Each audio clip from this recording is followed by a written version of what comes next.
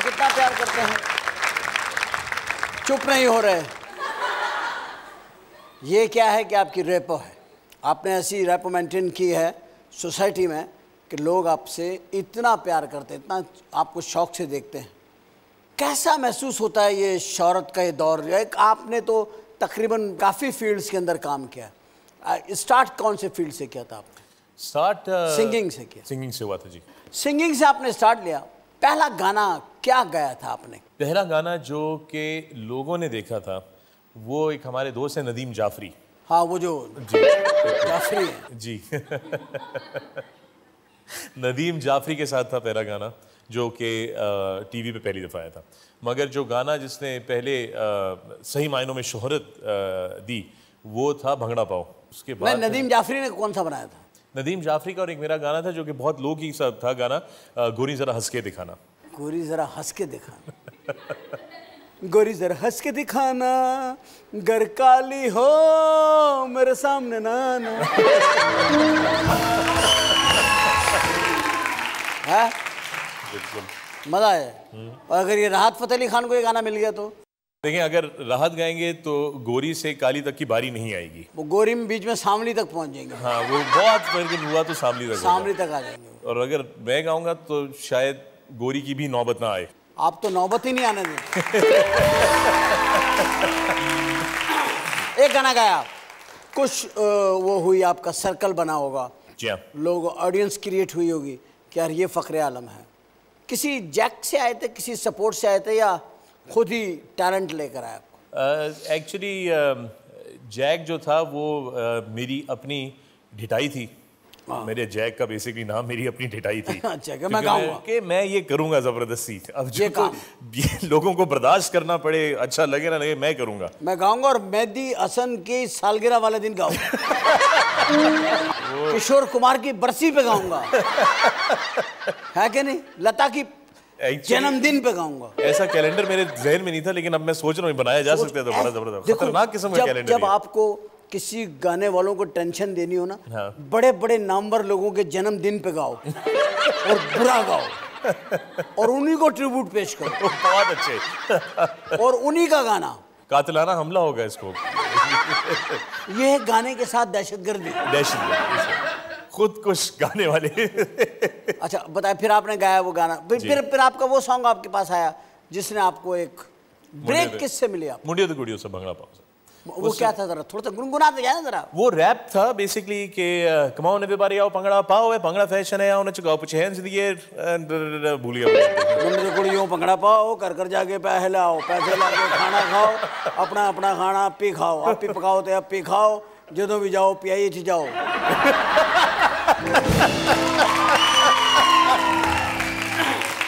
ये भी रिमिक्स किया जा सकता है इस ये भी दोबारा यार ये मैं भी दोबारा। सारे गाने तुम्हारे आज रिमिक्स रिमिक्स करवा देंगे ना बस ये हाँ, ये right. था ये ये ये ये कंपोज भी मैं करूंगा लिखूंगा भी मैं बस ठीक है है ना अच्छा फिर ये एक फकर आलम का सफर शुरू हो गया फकर आलम ये गा पै- ये दूसरा सॉन्ग था जी इस दौरान के अंदर ये दो गाने गाने के बाद ऑडियंस क्रिएट हो गए अवेयरनेस आई लोगों को यार फ़ख्र आलम। बस थोड़ा सा फेम मिला। फेम मिला अब एक फेम के साथ ही जो है ना फ़ैन आने शुरू हो जाते हैं। फ़ैन आते हैं तो फीमेल पहले आती हैं। मेल तो बहुत अरसे बाद जाके कहते हैं "आ, अच्छा गाता है यार ये। गा लेता है बस मगर वो बात नहीं है। अच्छा कोई खूबसूरत से लड़का हो ना पप्पू बच्चा उससे लड़के बहुत तपते हैं। जैसे अली ज़फ़र पे तपते हैं यार अच्छा प्यारा है लड़कियाँ बहुत उसमें क्रेज करती हैं। तो उसमें तो लड़का टाइप का नहीं है ये। आ तो रहा है लेकिन लड़कियों की तरह का है यार ये। ये ऐसे करते हैं। है ना? सही बात है। ये करते हैं लोग जेलेसी में करते हैं। तो आपने जब वो ये फैनशिप शुरू हुई तो पहला फीमेल ऑटोग्राफ जब आपने दिया किसी फीमेल को वो लम्हा क्या था? एक्चुअली मुझे बिल्कुल याद नहीं है उम्र भाई। मुझे ये ज़रूर याद है कि वो आपने बात की कि फीमेल फैंस पहले होती हैं। मुझे जो याद है कि शुरू में मुझे मेरी जो फॉलोइंग थी वो बच्चों में बहुत ज़्यादा थी। बच्चे तो यार ना समझ होते हैं यार। शायद इसीलिए शायद इसीलिए वो फ़ैन थे पहले। अच्छा। मगर पहली फीमेल कोई नहीं भूलता जो ऑटोग्राफ लेती है। वो बंदे को याद रहती है। एक्चुअली चूँकि पहली फीमेल जिसने ऑटोग्राफ लिया था उससे पहले बहुत सारी फीमेल ज़िंदगी में आ चुकी थी और जा चुकी थी। शायद इसलिए उनका एहसास जा नहीं चुकी थी। हाँ, तो एहसास नहीं ठहरी नहीं कोई ठहरी नहीं। मेरी अपनी तबीयत में भी ठहराव नहीं था उस वक्त। ओहो आप भी ऐसे ही थे। बिल्कुल। लेकिन ये तो होता है ये जवानी का किस्सा होता है। एक दौर होता है आर्टिस्ट की दौर। आर्टिस्ट हर एक के साथ बहुत सारा टाइम नहीं गुजार सकते। उसकी वजह क्या होती है कि उनकी अपनी मसरूफियात होती हैं शहर बदलते रहते हैं इलाके बदलते रहते हैं जैसे जैसे स्टैंडर्ड हाई होता है मोहल्ले तब्दील होते रहते हैं इस इलाके में फिर उस इलाके में फिर उस इलाके में और फिर आर्टिस्ट किसी की प्रॉपर्टी नहीं होता कि एक का होकर के रह जाए। सही ये तो उसके वो लम्हात होते हैं जब वो जब डिसाइड कर लेता है। तो ये फैनशिप बढ़ती गई माशाल्लाह। बिल्कुल। फिर ये मेल फीमेल में आते बच्चों से निकली फीमेल्स में आई। कौन ऐसी खातून आई जिसने कहा कि फ़क्र मैं तुम्हारी हूँ? अब ये एक मुझे हंड्रेड परसेंट याद है। कि एक खातून था खातून था। है, था।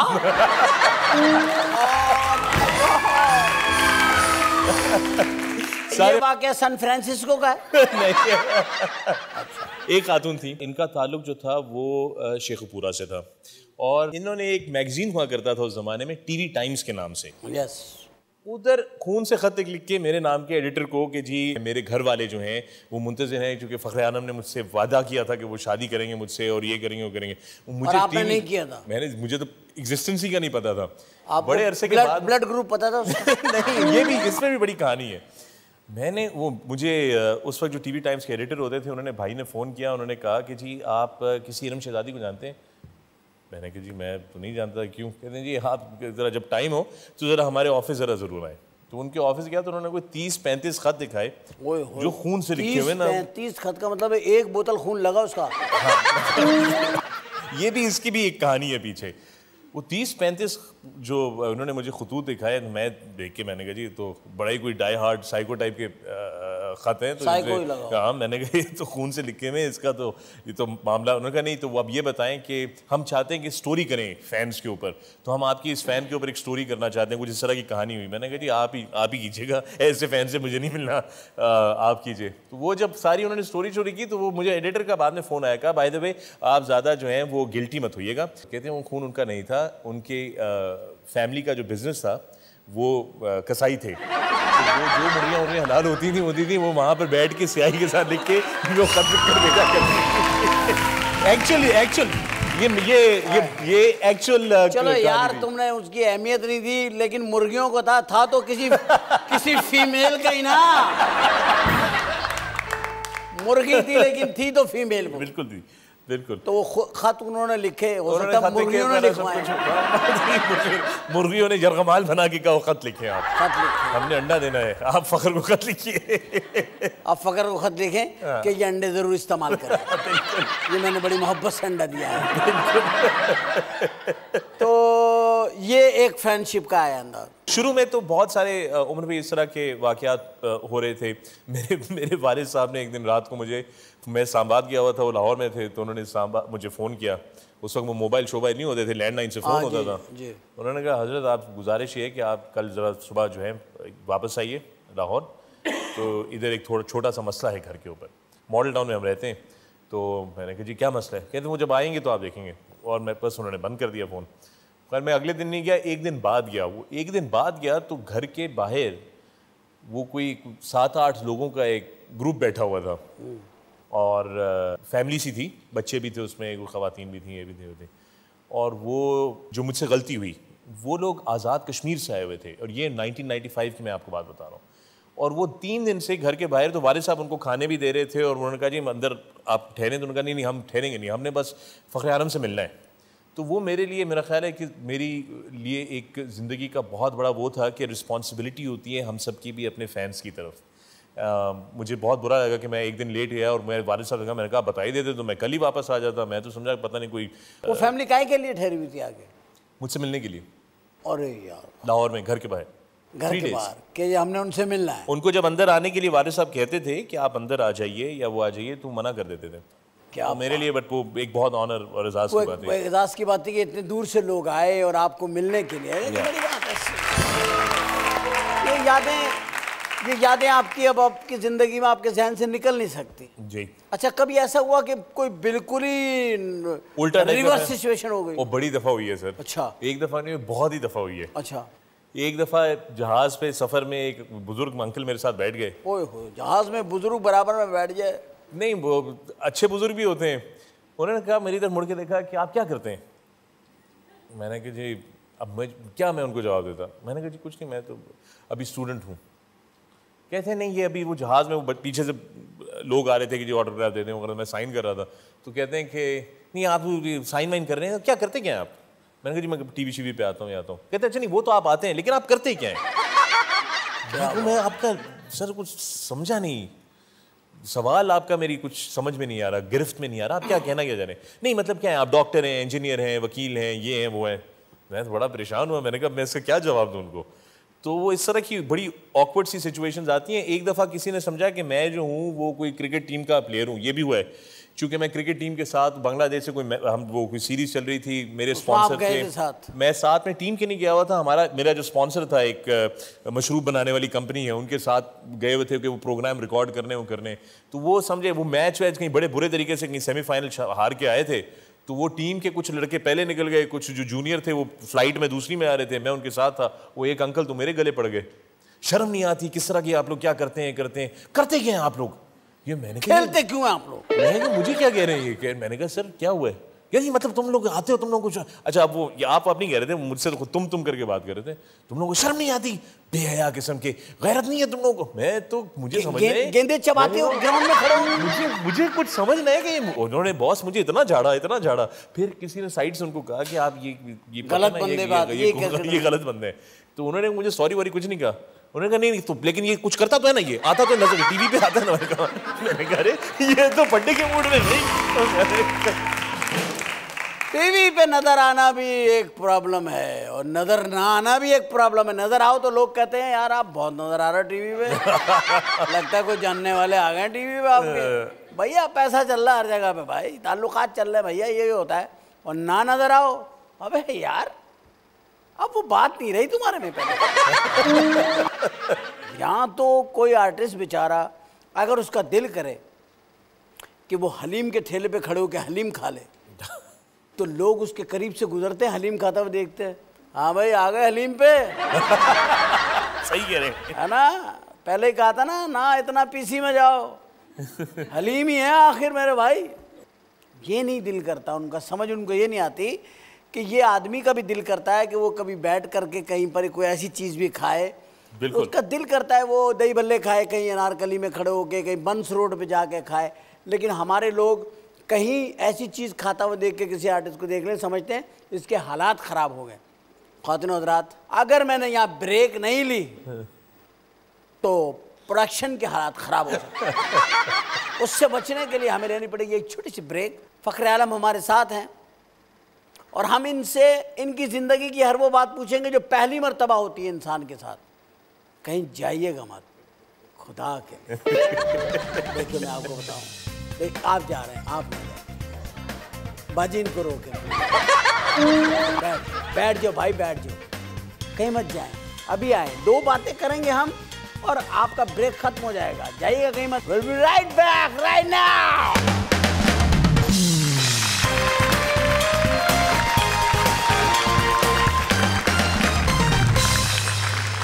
welcome back after break. और जब हम ब्रेक पे गए थे, हमारे साथ उस वक्त मौजूद थे और अभी भी हैं। जनाब फ़ख्र आलम साहब, आप राइटर भी हैं पॉप सिंगर भी हैं रैप भी गाते हैं, गीत भी गाते हैं, वतन के गीत भी गाते हैं सोशल वर्कर भी हैं, ये नहीं कहूँगा कि खोचर वर्कर भी हैं। अपना मतलब कल्चरल जो है ना सॉन्ग्स बहुत ज़्यादा गाते हैं और बहुत कोशिश करते हैं अपने नगमात में पाकिस्तान के अवाम अपने अपना गाना गाने की कोशिश करते हैं। फ़िल्मों में भी आए हम सारी बातें इनसे करेंगे।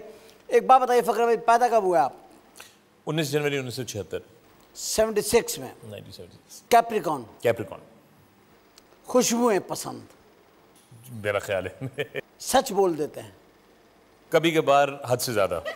कभी कभार हद से ज़्यादा जो बुरा भी लग जाता है। ज़्यादातर बुरा लगता है।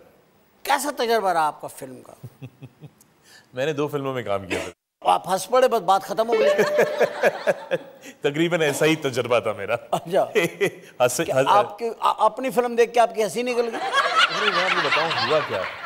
फिल्मी दुनिया जो है और आप उससे बहुत अच्छे तरीके से वाकिफ हैं। जी जी। फिल्मी दुनिया दरअसल हकीकतन एक नहायत ही चैलेंजिंग किस्म का माहौल होता है पाकिस्तान की जो इंडस्ट्री है या, खास तौर पे। तो पहली जो फ़िल्म मैंने की थी वेरी गुड दुनिया वेरी बैड लोग उसमें मेरे साथ शान थे। नीली थी रेशम नरगिस। और दूसरी जो फ़िल्म मैंने की थी दो फ़िल्में की वो थी नो पैसा नो प्रॉब्लम। उसमें हुमायूं सईद थे मेरे साथ निर्मा थी नूर थी और सना थी। और दोनों फ़िल्में मैंने की। होता गया कि जब फ़िल्म शूट हो रही होती है उस वक्त तो हर चीज़ बड़ी ही ज़बरदस्त लग रही होती है कि हाँ ये तो बड़ी ये बड़ी मज ये बड़े ये तो बड़ी पंच लाइन थी ये तो बड़ा मज़ाक था ये ज़बरदस्त वो जुड़ के जब आता है ना- ये जब जुड़ के सामने आता है तो देखने के बाद इंसान खुद ही परेशान हो जाता है और शर्मिंदा भी हो जाता है कि ये मैं हूँ और ये मैंने किया है। ये मैं क्या कर रहा था? मैं सोच क्या रहा था उस वक्त? जब मैं ये सीन रिकॉर्ड करवा रहा था या ये पर्टिकुलर चीज़ जो कर रहा था। तो मेरा अपना एक्सपीरियंस ये है कि फ़िल्म इंडस्ट्री हमारी जो है उसमें बहुत से काबिल लोग भी हैं। मेरे पहले डायरेक्टर है सुलेमान साहब। ही वाज बहुत बहुत ज़बरदस्त tremendous gentleman to work with पहला रोमांटिक सीन छोड़ दे। पहला रोमांटिक पहला रोमांटिक सीन कैमरा स्टार्ट हो रहा है आपने पहला फिक्रा बोलना है। कोई पंद्रह हज़ार टेके दी थी हंस हंस के मैं गिर गया था। जो रोमांटिक लाइन जो थी मेरी वो इतनी लड़की कौन थी? मैं रेशम। तो आपकी हँसी क्यों निकली? मेरी हँसी रेशम को देख के नहीं निकल रही थी मेरी उस जो लाइनें मुझे कहनी थी। क्या था वो बताइए। मेरा जो कैरेक्टर था वो थोड़ा सड़क मिनट- एक मिनट मैं पहले आपको पूरा मूड में लाता हूँ। अच्छा। स्टार्ट साउंड फुल लाइट लाइटा करा दो कैमरा एक्शन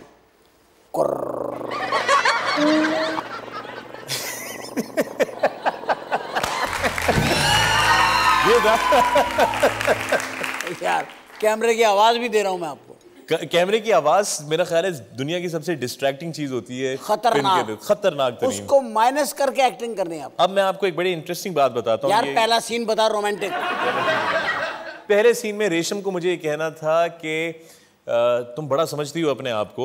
यहाँ तक तो, बात बिल्कुल ठीक हाँ तो तुम बड़ा समझती हो ना अपने आप को। एक दिन जब मैं बड़ा आदमी बनूँगा ना फिर उसके बाद एक ना लंबी सी गाड़ी में आऊँगा यहाँ पर। ठीक है? उस वक्त तो मेरे आगे पीछे घूमोगी फिर प्यार से मुझे बुलाओगी। कुछ इस तरह की बातें थी जो कहनी थी और यही मतलब ये मेरा उससे रोमांस था। पूरी फ़िल्में जो थी हमारी वो एक टसल चलती है। लेकिन जो सही रोमांटिक लाइन मुझे पहली दफ़ा से कहनी थी कि आज तुम बहुत खूबसूरत लग रही हो। जरा क्लोज में कहिए। 75 का लाइन लगा हुआ है। आज तुम बहुत खूबसूरत लग रही हो।